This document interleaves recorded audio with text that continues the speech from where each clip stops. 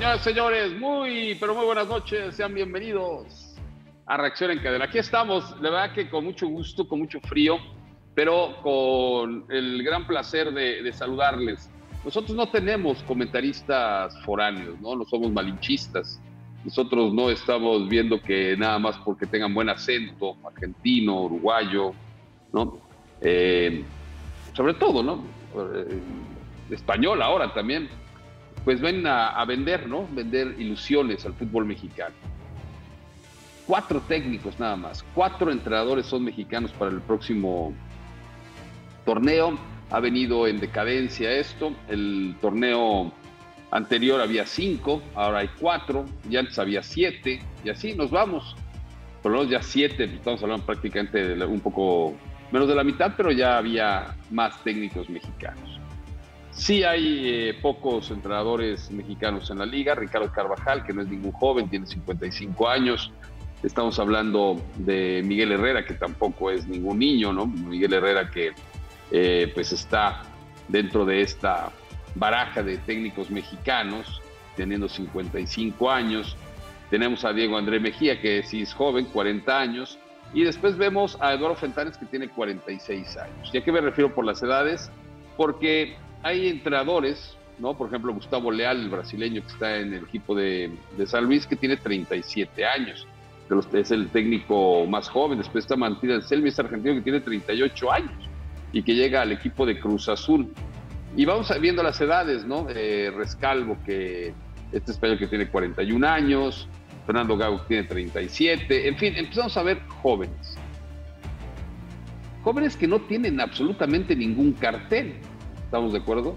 Que no han ganado absolutamente maldita la cosa, ¿no? No estamos hablando de técnicos experimentados como Guillermo Almada, que tiene 54 años y que ha tenido un desarrollo obviamente como entrenador, o Robert Dante Ciboli, que tiene 58, pero que está dentro de la baraja de técnicos hechos en México, ¿no?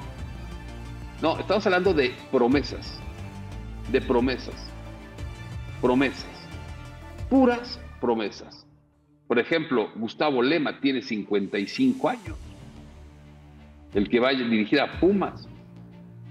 Fue el auxiliar, el cargaportafolios de Antonio Mohamed. Ese es el gran mérito que ha tenido, hacer los negocios que Antonio Mohamed cobra. Para que después le pague su cuerpo técnico. Ese es el, esos son los grandes méritos. Unos, tener muy bonito acento, otros ser muy guapos, otros tener una brillante eh, promotoría, pero no hay oportunidades para los mexicanos y se tienen que largar los mexicanos de, nuestro país para dirigir fuera del país, porque aquí no les van a dar oportunidad. Entonces, si te vas a arriesgar con un técnico ilustre desconocido, ilustre desconocido en la dirección técnica, porque Fernando fue buen futbolista, pero de técnico no ha mostrado absolutamente nada, o Anselmi tampoco, o sea, si te vas a arriesgar con un joven, ¿por qué no arriesgarte con un joven mexicano. Que los libros, cuando están escritos con acento, tienen mayor profundidad que cuando están escritos sin acento a la mexicana. Hay una discriminación al técnico mexicano. Es un negocio de los mandos medios de los equipos llevar a entrenadores de fuera porque, no, porque les representan comisiones. Muchas preguntas, ¿eh? Pero el fútbol mexicano se había basado en el último año en un cambio en teoría.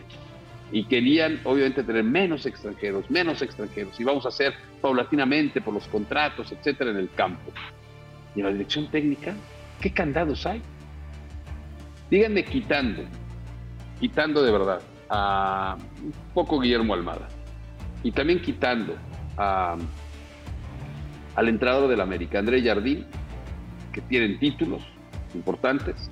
Díganme qué títulos ¿Qué títulos avalan la contratación, no sé, de Bernal Beñat San José o de Martín Anselmi, Anselmi o de Pavia o de Lema? Pobres mexicanos, ¿eh? El peor enemigo de un mexicano es un mexicano. Iniciamos reacción en cadena.